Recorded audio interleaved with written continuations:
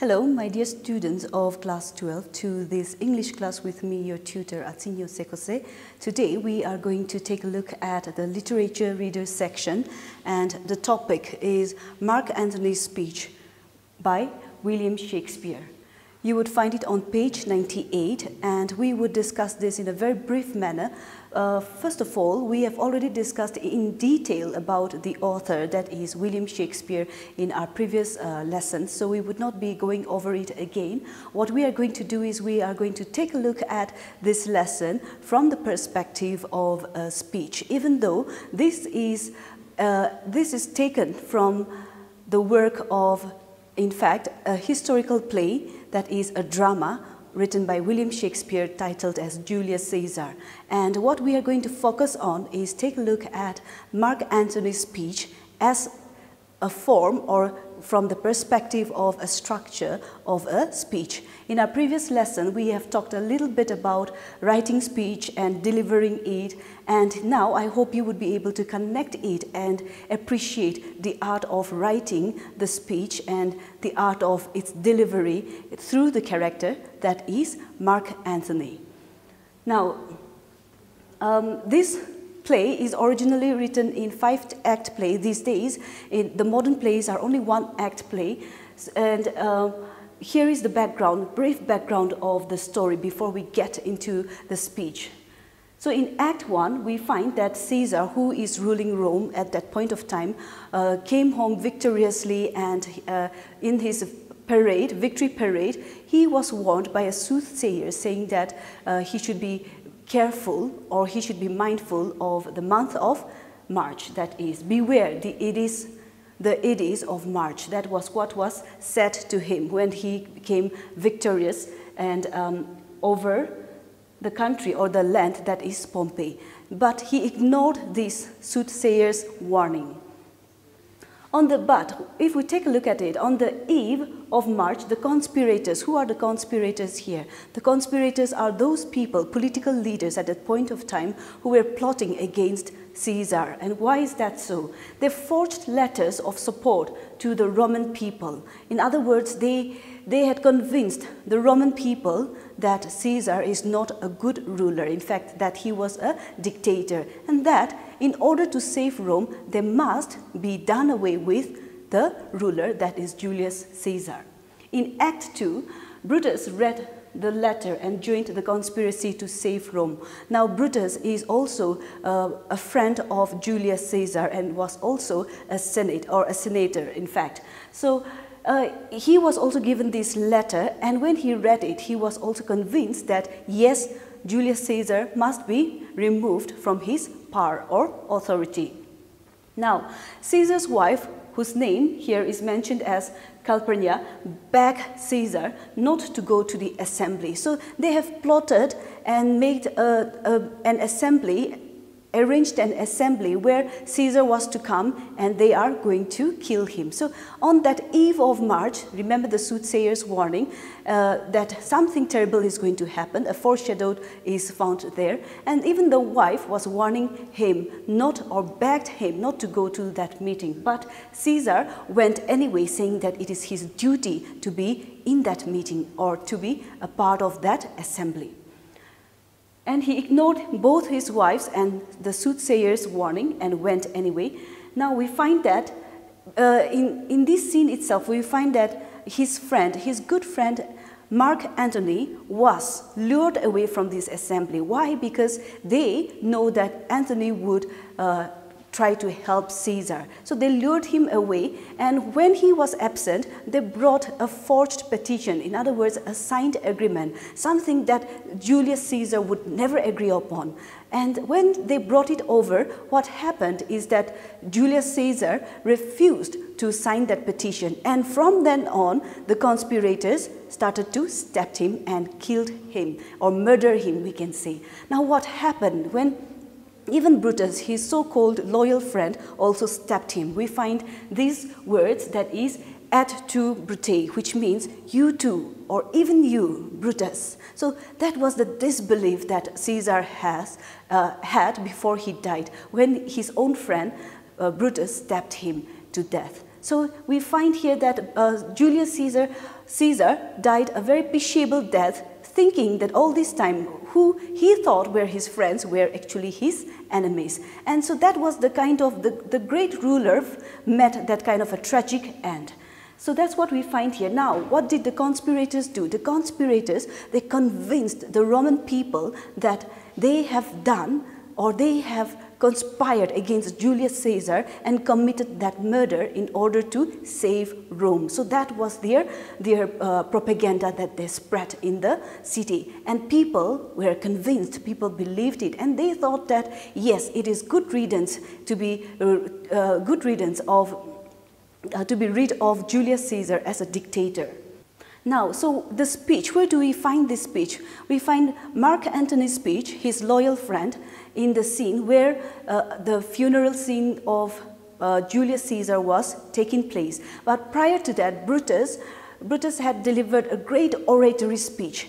In oratory here in the sense that he was very eloquent, he was very good with words, and he convinced the public that it was uh, it was his own fault, Julius Caesar's own fault, or for that matter, it was in, done, or he was murdered in order to save Rome from his dictatorship, that he was too authoritative, that he was too, uh, he exercised his or misused his power, and that he was too ambitious. So those were the, the things that they have told the public, and now the public are agreeing, siding with Brutus and the other conspirators.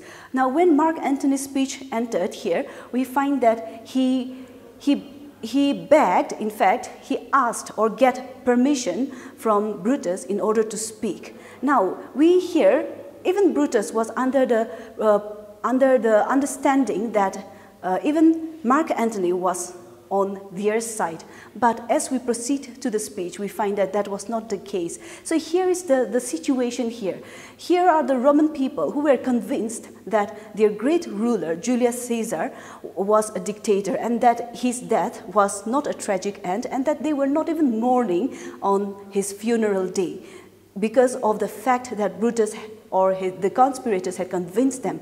But that whole thing, that whole mood changed after the speech of Mark Antony. So that is why we are going to take a look at it from the perspective of the, the art of speech and, in fact, the power of words that goes into the speech here. What did Mark Antony said, said to the people in order to make them take a U-turn uh, in their opinion here?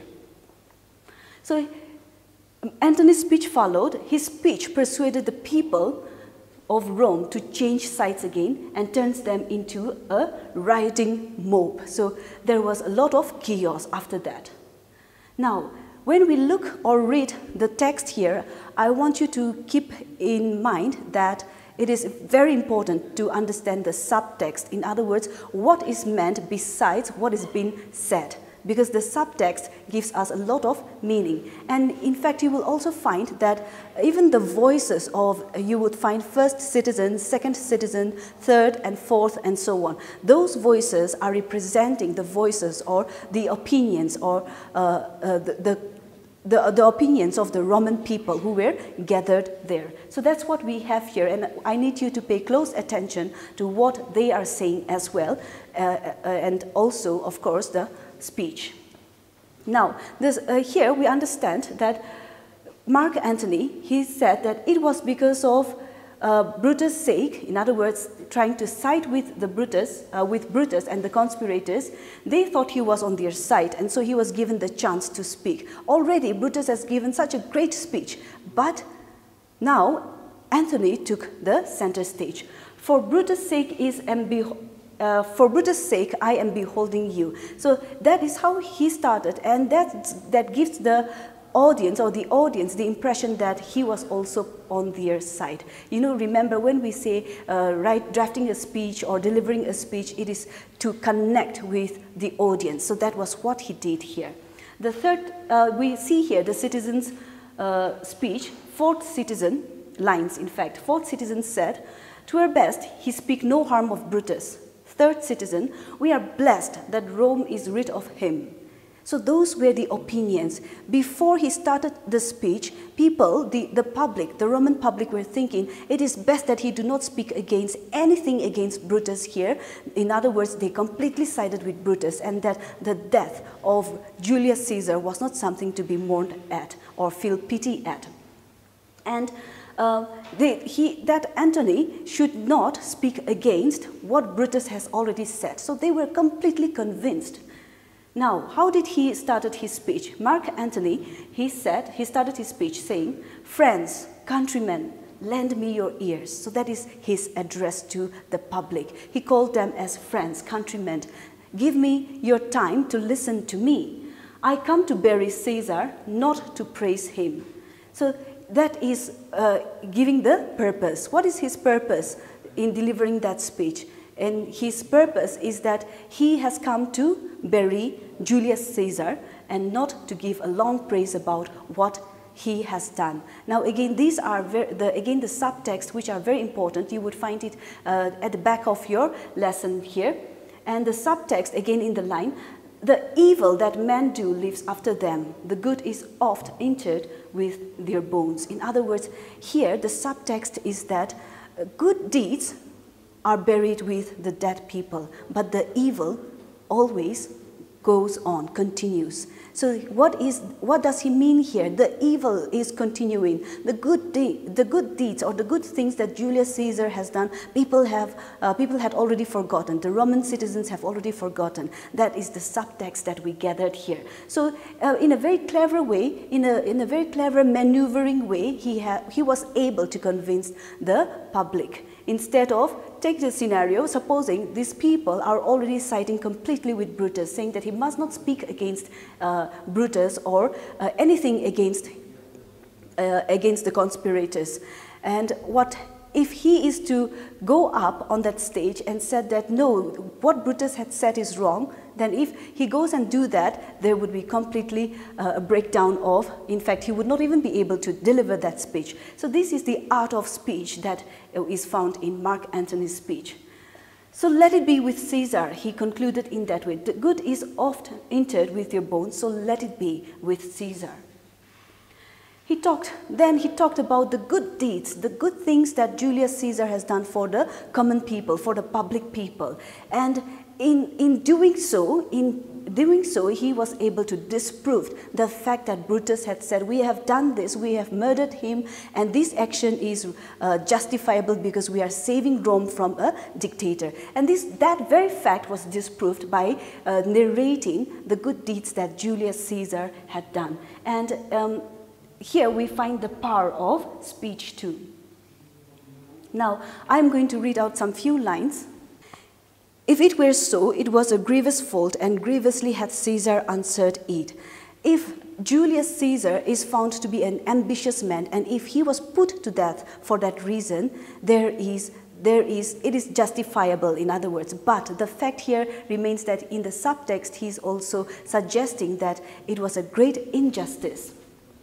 And we also learned about the relationship of Antony and Julius Caesar. And he said he was my friend and a very fair person, which means who is always very fair in his dealings. So by bringing out that quality of Julius Caesar, he is also brainwashing, we can also say, the, the public that what the funeral of uh, Julius Caesar is, in fact, and should be mourned.